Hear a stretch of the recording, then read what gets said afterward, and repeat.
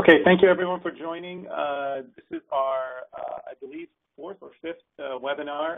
Today we're going to be discussing process flow, which has got several different names. Um, you know, the latest name for it is Lawson Process Automation, LPA. the reason I called this webinar Process Flow is the one that I think most people know, and that, that's kind of the name everybody um, has grown used to. In fact, it is actually a very good name for it. Uh, before, um, during the registration, we asked you whether or not you've uh, used Process Flow before, and it, it, turned out about 40% of you had, 40% of you never have, and then a good 20% had used it in the past, but not enough that it was a, a significant uh, experience for them. So uh, with that said, uh, since the majority is not uh, very used to the tool. We're going to keep the conversation relatively uh, basic to begin with, and then we'll get into some advanced um, uh, items uh, later on. Uh, so what's covered in this course, uh, we're, we're, going to briefly discover what process flow is. Uh, we're going to introduce the different components and terminology to you. We're going to go over the tools and introduce some of the tools and the menus. We're going to actually try to build a, uh, a flow um, on air here. So uh, that that's kind of asking for it, but uh, hopefully hopefully things will work out to our to our advantage. We've, we've taken some steps to make sure they do.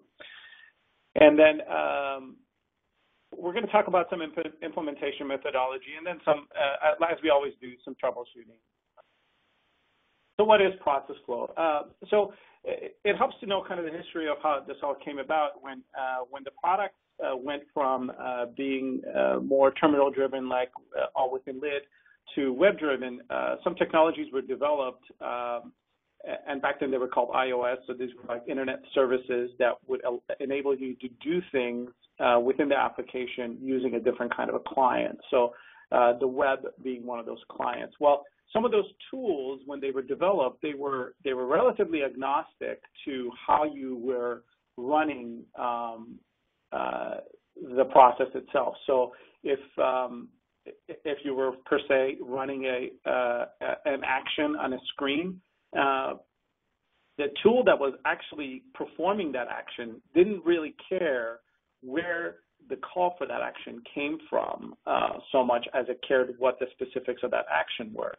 Um, now, the, the, advantage of all of that was uh, someone discovered that, hey, well, we can use these tools to build very complex and rich interfaces. So they did, they created this tool called Process Flow. Uh, and uh, and which which has had, like I said, several names since then. And Process Flow Professional is what, uh, or Process Integrator, uh, are some of the tools that uh, most of you have heard and know about. So some of the things you can do with this tool, with this uh, web-like interface that sits between different components of the Lawson application and uh, and and you uh, or any other piece of it um, are what you see on the right side of the screen there. So um, just briefly, so you can you can perform almost any action on almost any screen. Now the word almost here might confuse you, but let's just say any action on any screen. You can send and create uh, emails with with uh, all kinds of complex logic in it. Um, you know, different uh, uh, bodies and different sub subject lines. You can attach items to emails and things like that. that. That's actually one of the most powerful things that you can do uh, when it comes to uh, sending notifications and, and and things of that nature. Uh, you can access the database. So, um, and you can access actually any database. So the uh, the idea is you can you can access a database to create a query to return data, or you can actually actually actually access the database to perform an update or a change. Uh, you can read and write to files. So flat files, CSV files, um, you know, files of any nature, you can read and write to them. Uh, those are files on the server or in case of, depending on your configuration, you can read and write to files on different servers as well. Um, the RM node there, that, that is your resource management node. That's when you get to uh, play with uh, user setup, the, the actual resource, let's say a, a user on your system. So you can uh, technically create new Lawson users and modify them, update them. Say you got a new hire, you want to set up their employee record for employee self-service. Uh, you can automate you can automate that to happen. Um, you see a little C prompt there. That's your that's our, my little icon for your command um, node. So that allows you to run um, any command uh, application uh, from your server. Uh, you have access to to performing uh, all sorts of complex JavaScript. Um, you have web services available to you. So if if you have a web service that you can um, uh, access, then um, you know you can access it through this node. There's the data transform uh, node. So this this actually uh, accesses the data stage um, tool if you have that. Um, that is a data transformation utility, which is which, which can do very complex data transformation, uh, and uh, it's it's extremely powerful tool. But we're not going to get into it today because it can also be very extremely complex and you can also perform user actions. Uh, so, so that's quite a bit, and there's actually quite a bit more. I'm, I'm just highlighting the main ones that I think you might use. Uh, I'm, I'm, not advancing on the screen here, so if some of you are saying the screen's frozen, um, we haven't really advanced. Uh, we're only on slide four, so so uh, so that is really process flow in, in its um, in its entirety. Uh, what it can do is automate the progression of these uh, these tasks that you might have. So it basically it can take a business process and it can automate all the different steps of it with as much logic as you want to put in there or as little logic as you want to put in there. So what can it do? Um, it can do lots of things, but really it, it, can build interfaces between the Lawson application and other systems. So for example, if you have a time entry system somewhere that you want to take data from and bring it into Lawson, very easy to do. If you've got an order entry system that, that you want to interface with Lawson, uh, you can do that on a real-time basis or on a batch basis or something like that. It, it can, it can do all of that. Um, so interfacing between the application and other systems.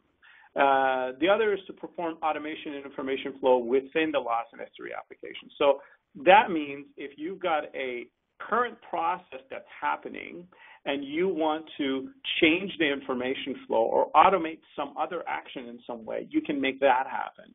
Uh, so that can be very powerful. For example, let's say you've got a requisition that happens and uh, that's entered.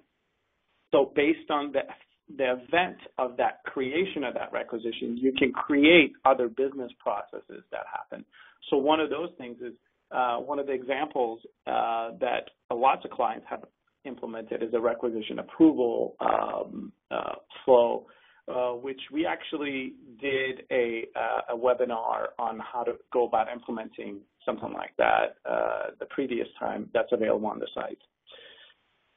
you can you can most people don't know this, but you can actually build interfaces between two completely separate systems, not even including Lawson. So if I had uh, a, a, web front end to some application like an order entry system, and then I also had another um, another application that kept track of my inventory, technically, if I wanted to combine those together, I could use this tool to do it.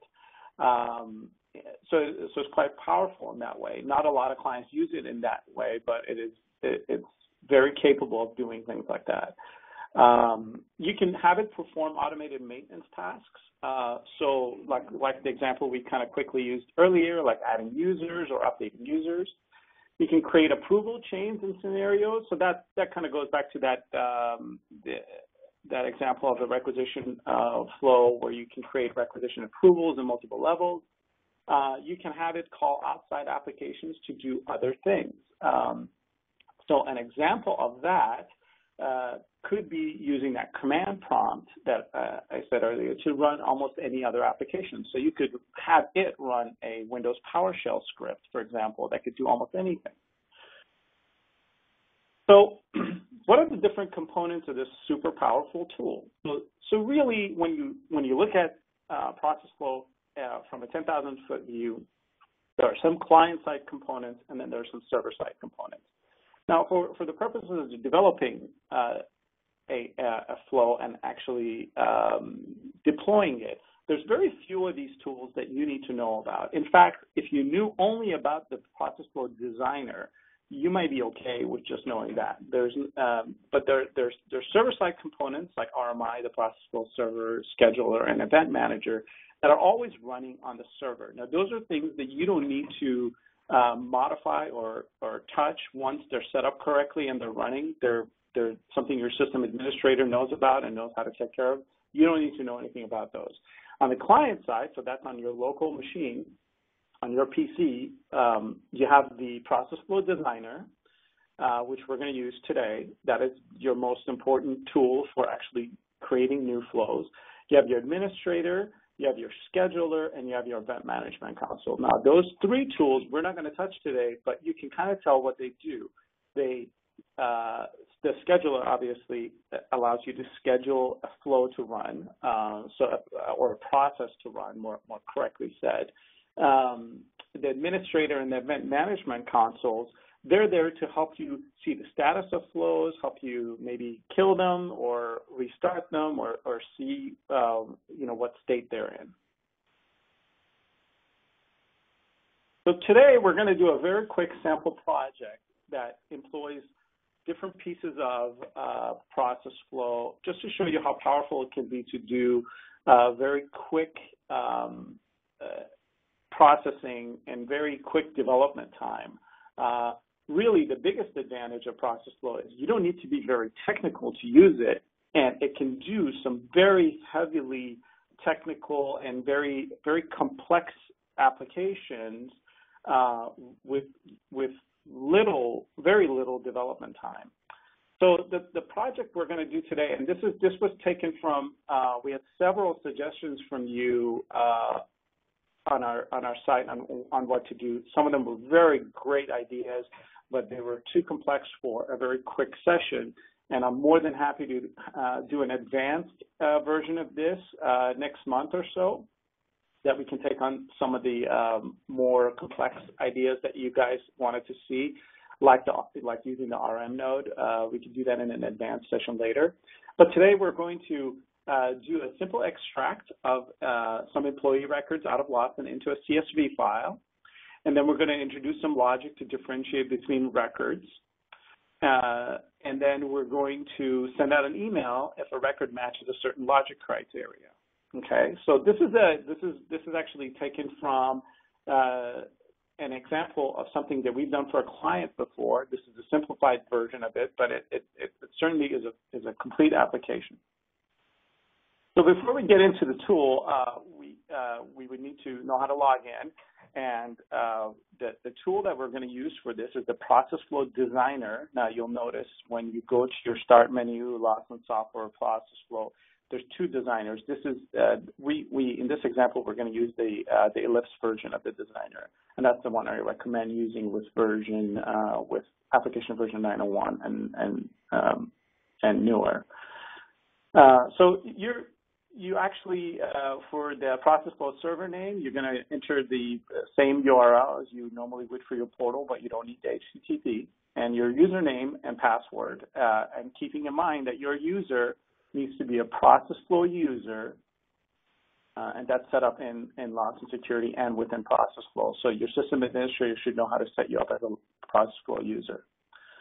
Um, and uh, many of you, uh, just being on the field, I know this, many of you, if you're the sysadmin or the developer, you, you might have the Lawson username password. Uh, that typically is already set up. So um, if you have that kind of privilege, you could you could use that just to do a quick flow, but I don't recommend it. I recommend having uh, uh, your user be set up as a process as a process flow user so you can develop flows. So uh, before we get into actually loading the application, I want to I want to kind of go over what the designer is because it can look a little scary when you first look at it. It's a very crowded screen, but uh, but it's actually quite a simple screen. Um, so uh, the the white area on the right side where I've got labeled workspace, that area is your workspace. That's really where you mo do most of the work. So uh, you can think of that as your canvas where you're laying out all your flow. Uh, the, the area that's labeled nodes, which is this uh, vertical toolbar, that's where all the different actions reside within process flow. So if there's something you're looking to do and it's possible, then chances are that it sits there. And then the only other part that's very important is once you've got a node highlighted on your canvas, the properties for that node show up on the left side, on the lower left side where I've, I've labeled it node, node properties. So to modify the properties of a node, you do that on the left side of the screen right there. Um, the other thing to point out is that the version of the designer is a tab-driven um, design, which is really nice. So you can open multiple flows into multiple tabs. Uh, I definitely recommend, um, you know, doing that um, and, and being very aware of which tab you're working in because you could modify the wrong flow, obviously, if you're not paying attention. At the bottom of your screen, you got the debug console, so that, that helps you debug your application. Uh, and and um, you might get a chance to look at that. So um, here we go. We're going to try to do the, a live demo here and uh, work with me while we try that. So let's see. Um, other, let's.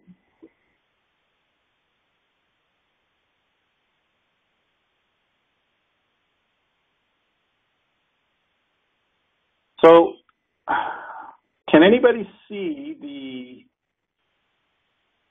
process flow designer that I have up. If you could please let me know that on the bottom of your screen on the left. Okay, great. Uh, excellent. So you guys can see that? Wonderful. Okay, so you've got the process flow, very small, but yes. Okay, so let me make it bigger. Um, very difficult to do this and still see your comments. Hang on a quick second. Let's see. Okay, can you guys can you guys see it in its entirety, or is is some of it cut off for you?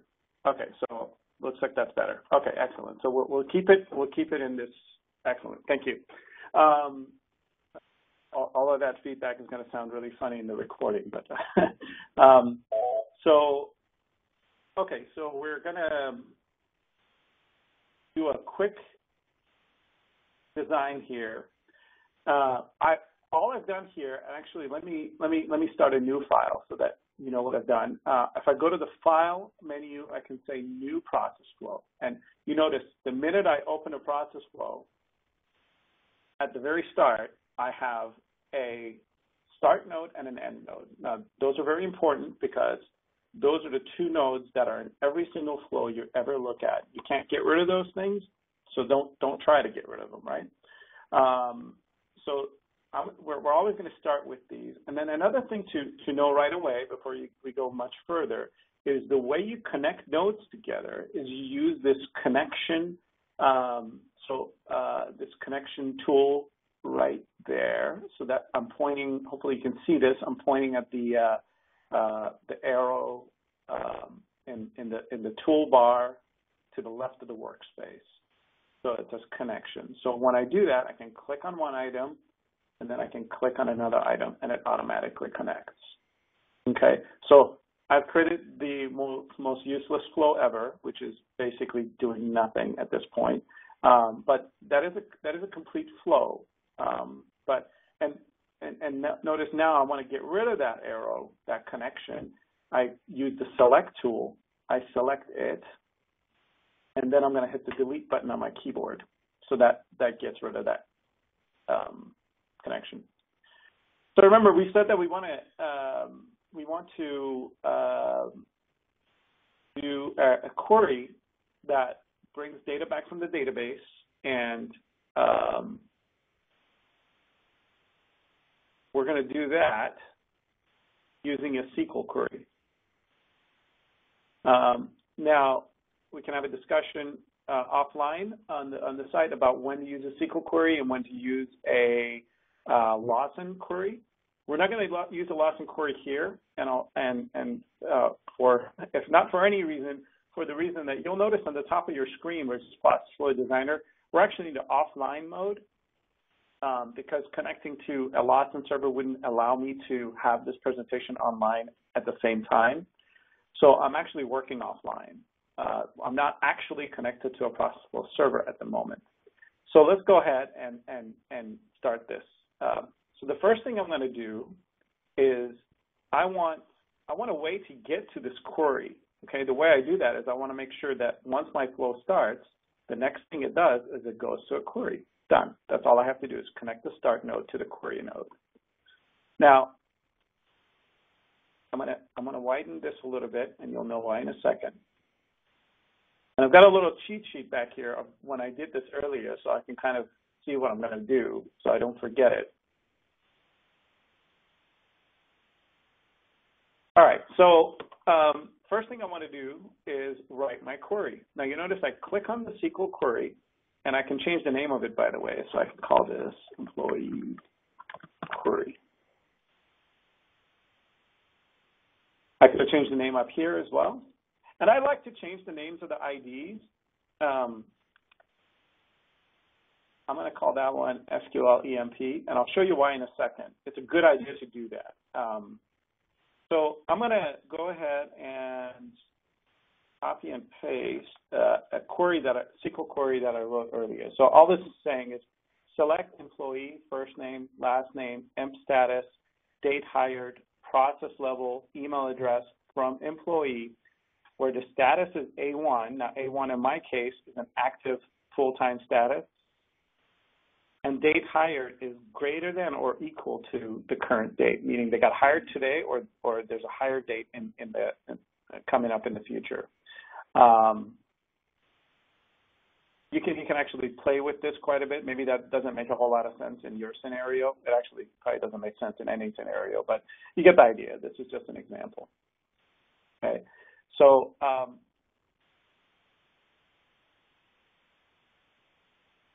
notice I've, I've referenced something called current date. Okay, now that is that is a, a and this this um, this notation here, this uh, open or this greater than sign, exclamation mark, which is closed by a greater than or you know greater than sign.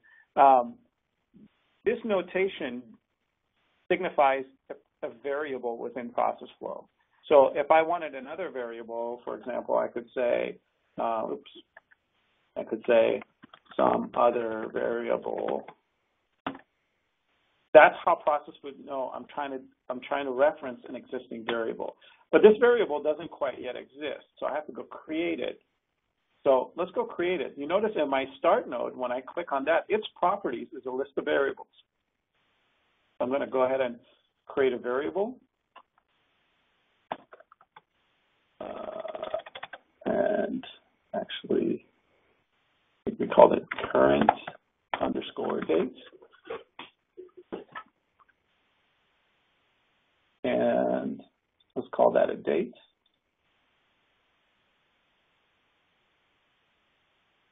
And we're gonna we're gonna use a JavaScript function called today as the very the value of this variable. So we could actually put anything we wanted in here. So I could hard code a date in here. I could say 2013 um, 10 10 I, I could have said that, but I decided I'm going to use the current date every time. See, I don't think I need this equal sign. Okay, so now that I've got this variable, you notice if I go back here,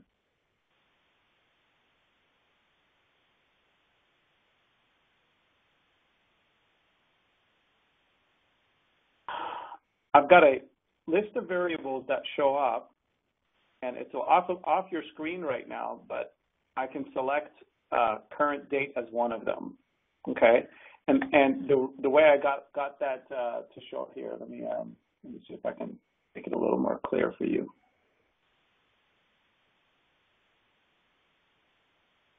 So if you hold down Control and Space at the same time, you get your list of currently defined variables in the system. Now you notice there's other, other there's other variables. We skipped the first few, but you got apps product line, CCS product line, current date, GENDIR, host, LAWDIR, and work unit. So these are these are great variables to have, especially LAWDIR and GENDIR. Going to go ahead and um, paste the SQL into the chat so you guys can see it. Uh, thank you for that request. It's a great idea. Okay, so, so now that I've done that, a very long way of explaining that I've just created a node that's going to um, um,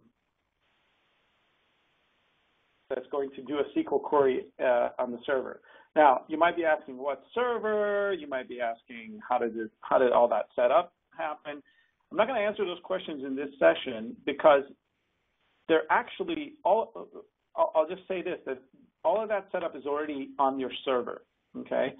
If it isn't, it needs to be set up, okay? But this is going to actually do a default query against the default database that's set up on your server. And that there is a, there's one default or you can override all of that here. If you check that box, you can you can pick different servers and different database users and, and all kinds of different JDBC, JDBC drivers for different databases. Uh, but for now, we're going to take the default that's set up on the server. Okay. So if all I wanted to do was to create a CSV file, which is what I originally started to, that I wanted to do, um, hard time finding the file node. Oh, here it is, file access node. If I all I wanted to do was do that, I grab the file access node, and on the left you'll notice I've got, I'll just call this CSV file.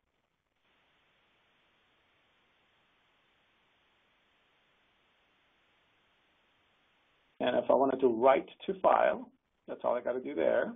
And then I can say wh where my file goes, I'm going to put this file in the temp directory and call it employee.csv.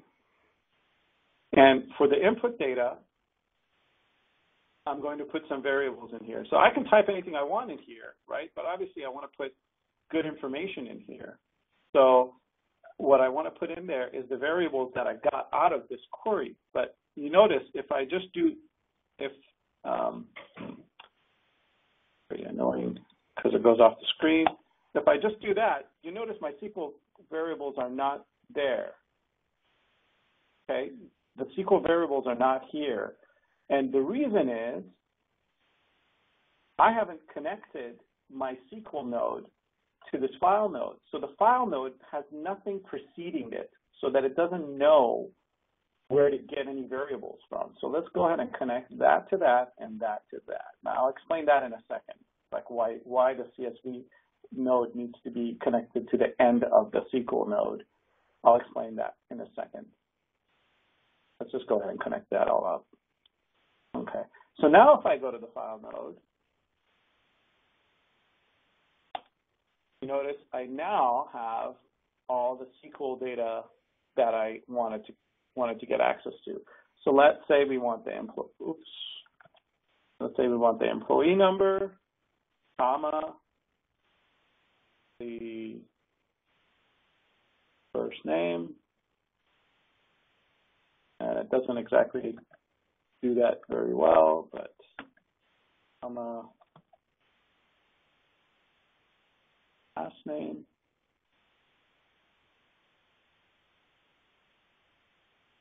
And let's say we also wanted the email address in here.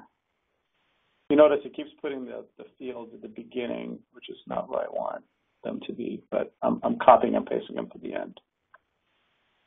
Okay.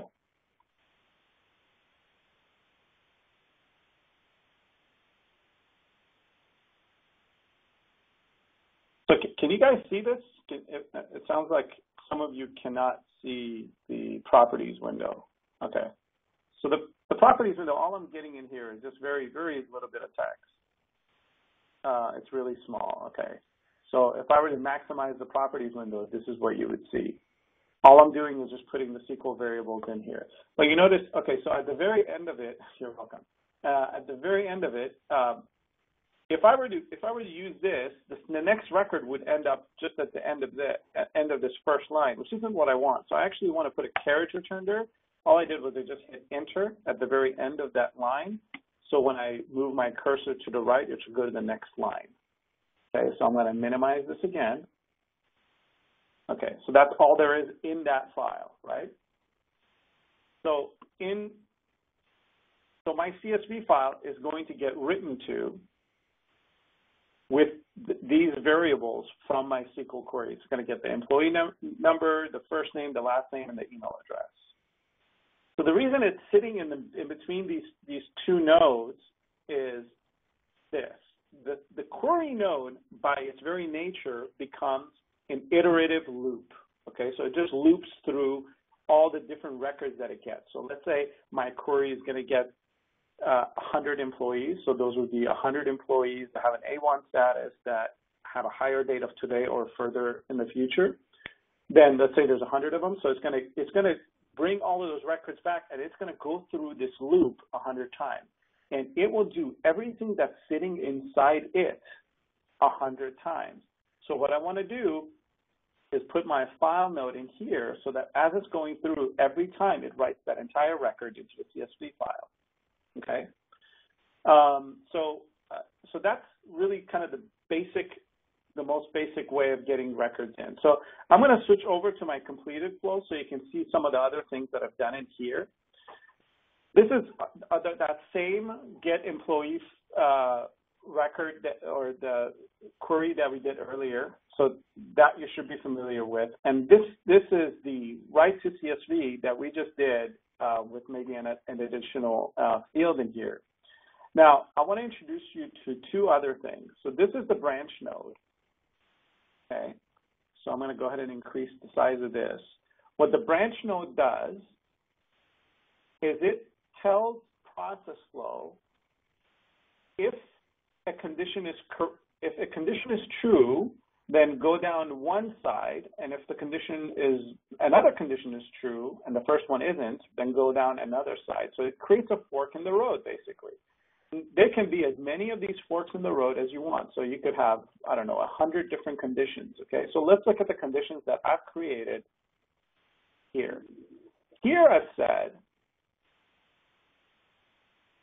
my first leg of my condition is if the process level of what you're returning is 100, so if these guys are executives, for example, they might be in process level 100. So if process level 100, go down this leg, so follow this logic. And then I've done this, this funny little trick. So I want to say if everybody else, okay, so if you're not in 100, I could either go ahead and say it's not in 100, do something else. But what if there is some other weird data that's happening? Well, what I want to do is catch everything all at once. So what I've done here is a trick that I use. I don't know if this is the best way to do it, but this is how I've always done it. I've just said if 1 equals 1. Now, that's always true, okay? And it's the easiest thing for me to remember, so I always do it. There's, you can also do if true. You can also do a number of other things, but I found that if 1 equals 1 always works. So I like using that. So I said if 1 equals 1, go the other way. So what does that mean? Let's go back to our flow. Here, it means that if if the process level is 100, go and write to this one CSV file. And if if it's anything else, write to this other CSV file called file other. Okay, so there's now we're creating two different CSV files in this example. We've got pl100.csv. See that? So this is just another file node. We said write to file pl100.csv, and we wrote a bunch of stuff from our CSV file, uh, from our query into it. And for the other one, very similar. We just called it differently, file other.csv, and then we wrote a bunch of stuff into it. Now this has to be the full path, by the way, to where you want the file to end up. Okay. And then also in, in the case of the executives in process level 100, I want to send an email to somebody. So what I've done in this case is since there's a new executive that's been hired, so that's usually a big deal, I want to send an email to the help desk at my company saying new new exec hire. And then I want to say the following exec was added this week. Please set up his exec portal account immediately. Okay? Because we don't want our execs to not be, you know, set up when they try to get into the system. So I send the correct information that my help desk is going to need to set up his whatever executive portal. Um, so basically what happens is a record comes in. If it's a, if if it's in process flow 100, it gets written to a file. This email goes out to the help desk, and that's it. If if if it is not in process flow 100, it just gets written to another file, and that's it. And then and this loop continues as many times as I have records in my SQL query.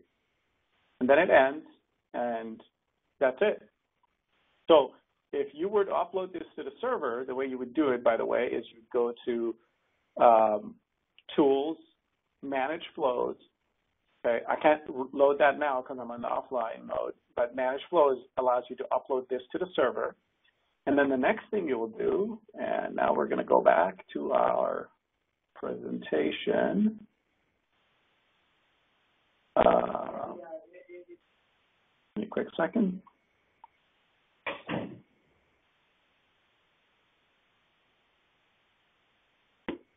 Okay, so for testing this on the server, you can you can you can either test it inside the client using the test mode, which we haven't gone over, or you can just point your browser to whatever your server web server name is slash bpm slash menu dot do do, and then there's you'll notice a section on the left called trigger of flow, and then process flow trigger.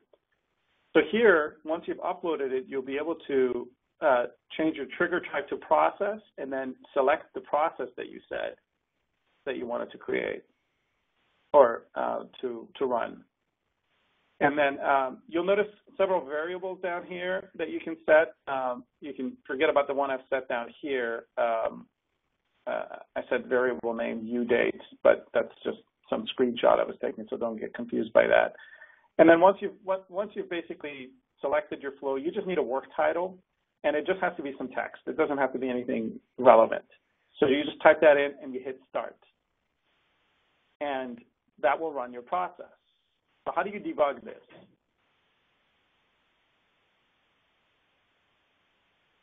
Um, you can, like I said, you can test your flows within the actual flow designer itself. It's re relatively self-explanatory. There's plenty of documentation on that. I'm not going to go over it. You can uh, check the flow uh, log files in uh, LAWDIR BPM. So in the LAWDIR directory, there's a BPM directory, and inside that, there's a directory called WF log.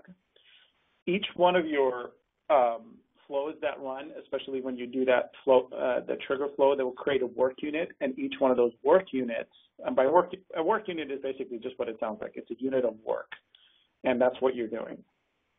So that each one of those would create a log file, and if there's an error, it will also create an error file.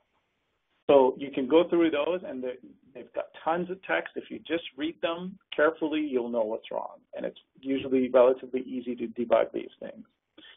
Um, you can check the uh, process flow administration uh, administrator tool to see the status of your flow. The, the logs are also available through that.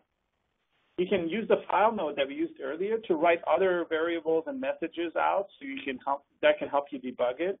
And then finally, you can try to do the task that you're trying to do manually to see if there's there's something that you're missing. A good rule is if you can't do it manually, process flow also can't do it. So if you wanted to get more in-depth training in process flow, um, here's what you would learn. You would learn uh, all the common nodes in, in detail. So today you've only learned about three or four of them. So you learned the file node, you learned the SQL node, and you learned the email node, and you learned the start node. Uh, and you actually learned the branch node as well. Um, but you'd learn how to use all the other ones as well in, in a more in-depth class. Um, you, you would use the Lawson S3 nodes to perform updates and queries within Lawson. So a common one people like to do is a PA52. So you can, um, you know, perform a personal action. Um, uh, you'd use a SQL node to maybe perform an update or a query on a completely other database other than Lawson. So that that can be a very powerful thing to have. Um, you can use web services. Like for example, some of the fun ones out there, like Google Maps has an open API for web services, so you can create a Google Maps API that gets you directions to a, to a specific address. Like for example, if you're in your materials management system and there's a warehouse, you know, or a ship to location, you could print the um, driving directions to that if you wanted to. That, that, that's pretty amazing that you can do that with this one-click tool.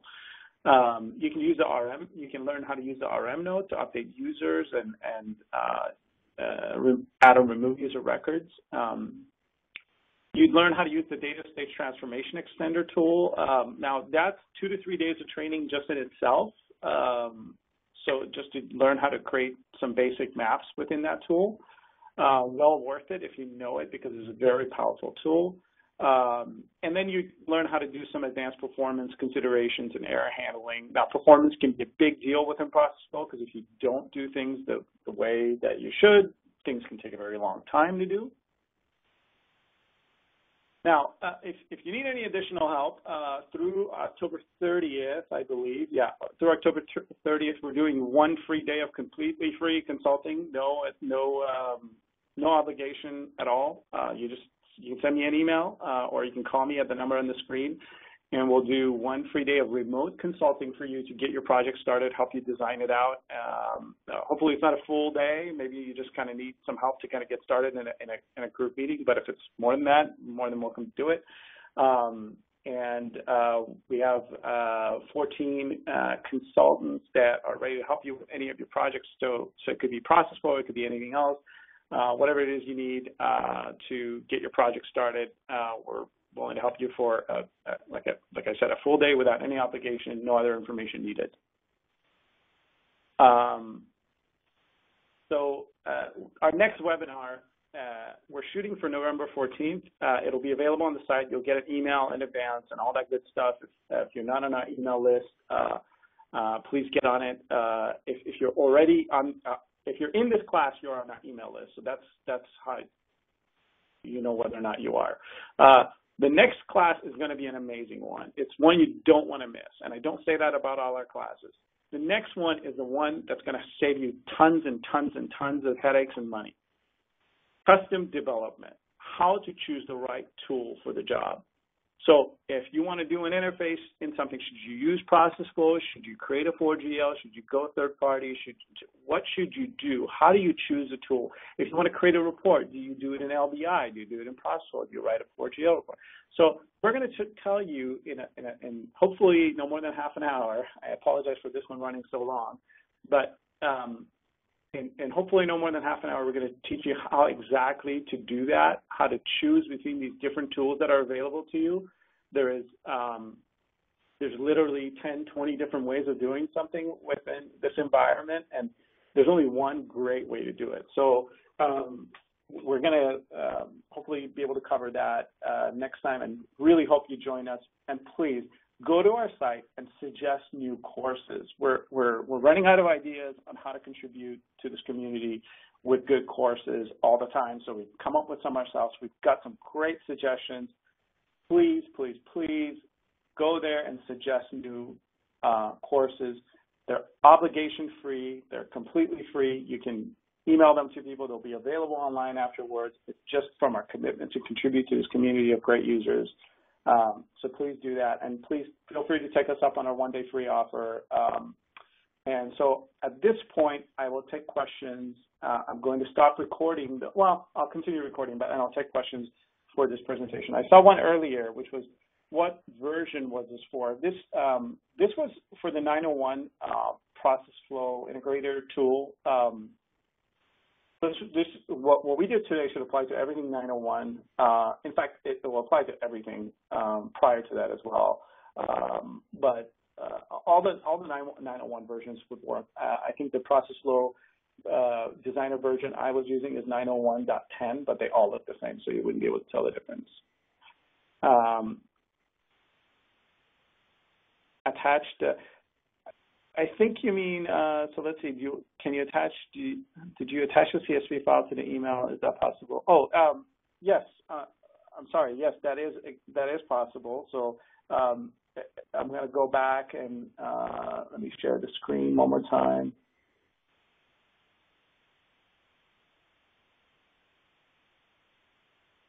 So hopefully you can see this again. Um, uh, so on the email node,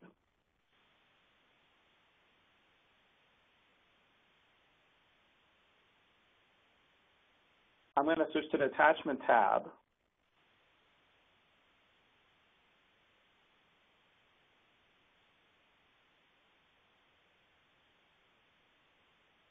And I can, uh, I believe it would be, apologize for this. Uh, let me minimize that again. We're here on the email node, on the attachment tab, increase the size. Yeah, so I can take the the file, output data, and attach it. Or Another way to do that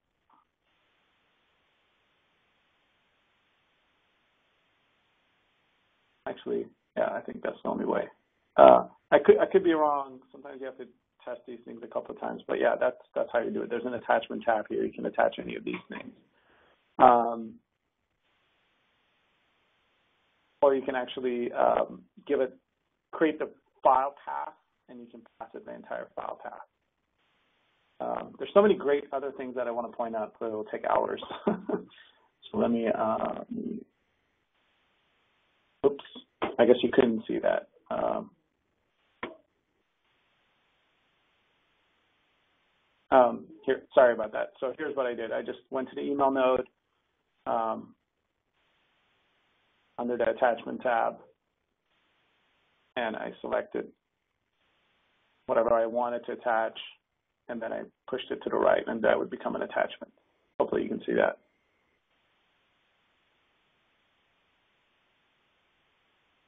Did you guys see that? Okay, see it now. Perfect. Okay. Um, so yeah, the email the email node is quite powerful. Um, works really well. Um,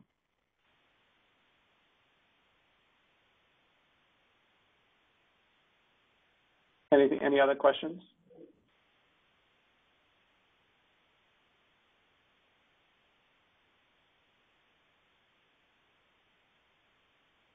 Do I have experience with LPA 10? Y yes, I do. Uh, there's actually quite, if, if you know how to use this, you'll know how to use that. It's a little bit different uh, in uh, its presentation, uh, and it, has got some more functionality. Um, a lot, lot more use of like landmark functionality and whatnot. But um, yes, uh, do I have experience with LPA 10, um, and if you know this, moving to that is not going to be a big problem for you.